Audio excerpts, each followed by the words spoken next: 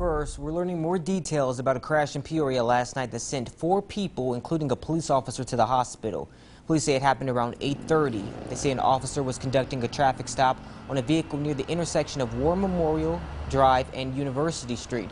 Then another vehicle failed to yield, drove over the median, and hit the first vehicle on the shoulder and struck the officer.